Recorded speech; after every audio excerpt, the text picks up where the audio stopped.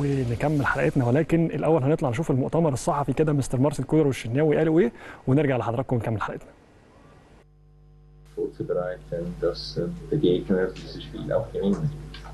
إحنا سعداء جدا بهذه المباراة سعداء إن إحنا مباراة ببطولة آم، ونهائي جديد آه، ده اللي متعود عليه النادي الأهلي، النادي الأهلي ما بيشبعش بطولات ودايما في كل بطولة بيدخلها طموحه إن هو يحصل على البطولة وده بيتسق آه، وبينسجم معايا أنا كمان لأن أنا كمان دي من طبعي ومن شخصيتي إن أنا آه، كل بطولة بحب أدخلها كل ماتش بدخله بيبقى هدفي الفوز وده نفس آه، تقاليد وعادات النادي الأهلي اللي دايما بيطمح للفوز بأي بطولة آه، بيدخلها هبذل كل ما عندي وكل آه، آه، خبراتي من أجل إعداد الفريق وتحضير الفريق للمباراة والفوز بالمباراة والفوز بلقب جديد مع النادي الأهلي.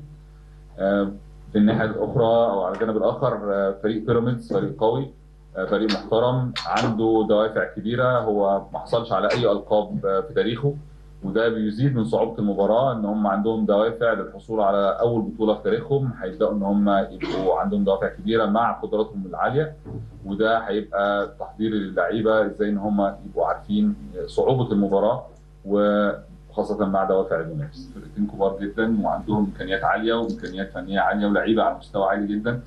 آه، كل واحد فيهم بيلعب ممكن كرة مختلفة شوية. آه، طريقة اللعب ممكن تكون مختلفة. لما المهم بالنسبة لي هو إحنا. إحنا بنلعب إزاي؟ إحنا هنأدي إزاي؟ آم، المنافس بدرسه عشان أعرف هو بيدافع إزاي بيهاجم إزاي. وعلى أساس ده بحط الخطة بتاعتي أو طريقة اللعب المناسبة للخصم. لكن ملهاش علاقة بأضعف أو أكبر مش حقيقي خالص. الفرقتين كبار.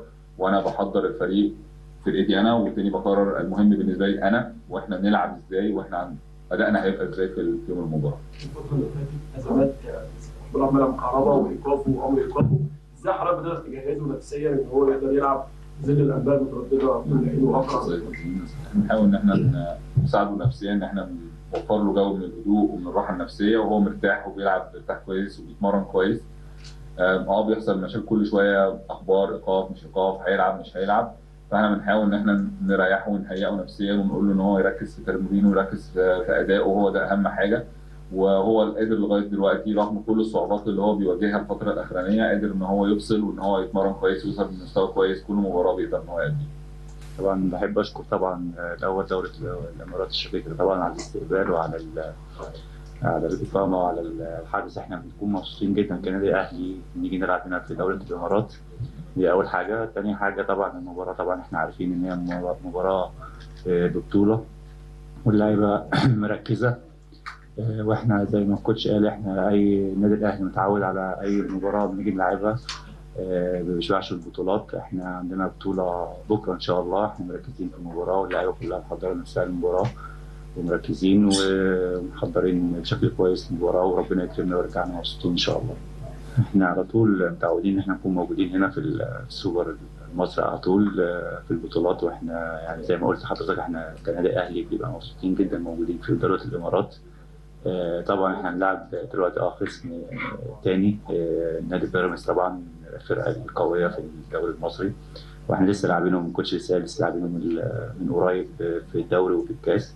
أكيد طبعا ال- الأسلوب ده في الأول وفي الآخر بيرجع لل- للجهاز الفني واللي بنحضر بشكل كويس مع الجهاز الفني نلعب الاسلوب ال- الكلام اللي بيقولوا معانا وإحنا بنحضر بشكل كويس معاهم يعني ننفذ التعليمات على قد ما نقدر في الملعب.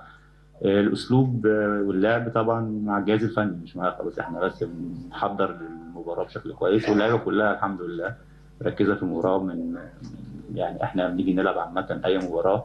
ما بنشوفش مين الخصم. إحنا بنحترم أي فرقة كبيرة صغيرة مالناش دعوة بالاسم. إحنا لنا دعوة بالمباراة اللي جاية وبتركيز في المباراة الجاية بس.